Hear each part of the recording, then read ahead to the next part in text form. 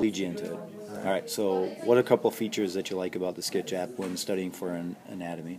Um, I like how you can color code all the letterings and everything, and label everything. So, and then you can just e- simply email it to yourself and study from it on the internet. So.